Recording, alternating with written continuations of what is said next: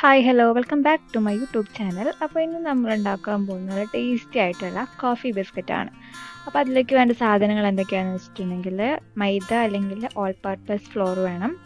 പിന്നെ പൊടിച്ച പഞ്ചസാര sunflower oil coffee powder baking powder പിന്നെ ഒരു ടേബിൾ സ്പൂൺ ഹോട്ട് വാട്ടർ അപ്പോൾ ഇത്രയാണ് നമുക്ക് വേണ്ട സാധനങ്ങൾ.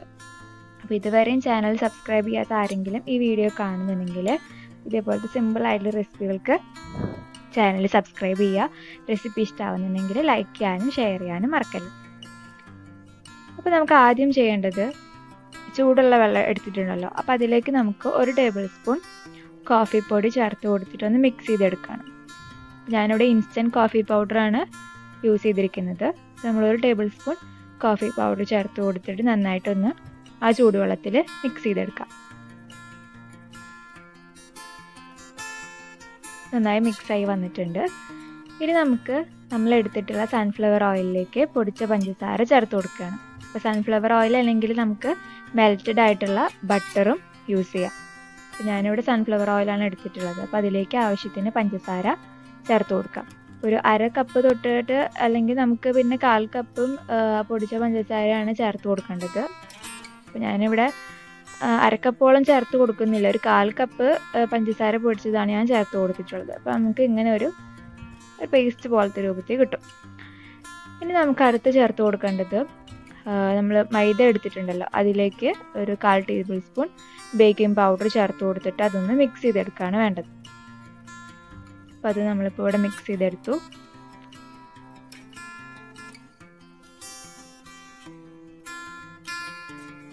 ഇനി നമുക്കതിലേക്ക് നമ്മൾ നേരത്തെ തയ്യാറാക്കി വെച്ചിട്ടുള്ള കോഫി മിക്സ്ചർ ചേർത്ത് കൊടുക്കാം. നമ്മളിതിലുള്ളത് ചൂടുവെള്ളവും ഇൻസ്റ്റന്റ് കോഫി പൗഡറുമാണ് അപ്പം അതിന്റെ മിക്സ് നമ്മൾ ചേർത്ത് കൊടുത്തു. എന്നിട്ട് നന്നായിട്ട് ഇളക്കിയെടുക്കുക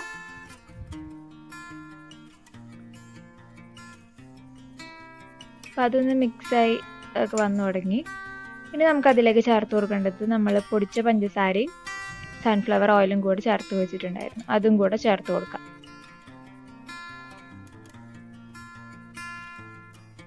അതും കൂടെ ചേർത്ത് കൊടുത്തതിന് ശേഷം നന്നായിട്ട് മിക്സ് ചെയ്തെടുക്കുക. അപ്പം ഇങ്ങനെ മിക്സ് ചെയ്തെടുത്താൽ നമുക്ക് ഒരു ഡോവിന്റെ പരുവത്തിലായി കിട്ടില്ല. അതുകൊണ്ട് നമ്മൾ രണ്ട് ടേബിൾ സ്പൂൺ ചൂടുവെള്ളം കൂടെ നമുക്കിതിൽ ചേർത്ത് കൊടുക്കേണ്ടതായിട്ട് വരും. ഇപ്പം നിങ്ങൾക്ക് പൊടി കാണുമ്പോൾ തന്നെ മനസ്സിലാവുന്നുണ്ട്. എല്ലാതും കൂടെ മിക്സ് ചെയ്യാനുള്ള അത്രയും ആ ഒരു വാട്ടർ കണ്ടന്റ് അതിലില്ല അതുകൊണ്ട് നമുക്ക് രണ്ട് ടേബിൾ സ്പൂൺ ചൂടുവെള്ളം കൂടെ ചേർത്ത് കൊടുത്തിട്ട് ഒരു മാവ് പോലെ ഇത് കുഴച്ചെടുക്കണം. അപ്പോൾ ഈ മിക്സറൊക്കെ നമുക്ക് നന്നായിട്ട് മിക്സ് ചെയ്ത് കഴിഞ്ഞിട്ട് നമുക്ക് ചൂടുവെള്ളം ഒഴിച്ചു കൊടുത്തിട്ട് മിക്സ് ചെയ്തെടുക്കാം.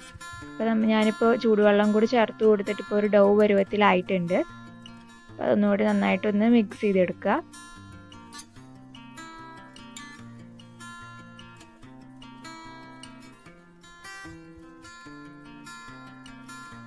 നമുക്കിവിടെ നമ്മുടെ ബിസ്ക്കറ്റിന്റെ മാവ് ഇവിടെ റെഡി ആയിട്ടുണ്ട്.